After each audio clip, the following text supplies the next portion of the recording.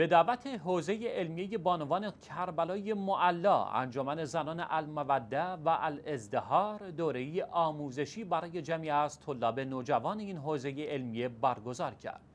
به گزارش شیویوز به نقل از پایگاه تلرسانی دفتر آیت الله العظما شیرازی این دوره آموزشی با عنوان دوره فاطمه الزهرا سلام الله علیها توسط دو تن از اساتید انجمن الموده و الازدهار برای طلاب داوطلب برگزار شده تا بتوانند از تعطیلات تابستانی استفاده بیشتری ببرند.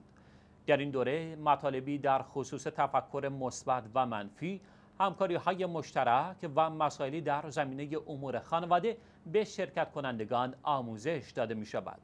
گفتنی است انجمن زنان الموده و الازدهار از مراکز مرتبط با مرجعیت شیعه در کربلای معلا است که به منظور آگاهی بخشی به زنان در خصوص مسائل خانوادگی و اجتماعی و پرورشی کودکان از طریق برگزاری کنفرانس ها، سمینارها، برگزاری دوره های آموزشی، نشر جزوات و تهیه تحقیقات خدماتی قابل توجه را به جامعه بانوان ارائه می دهد.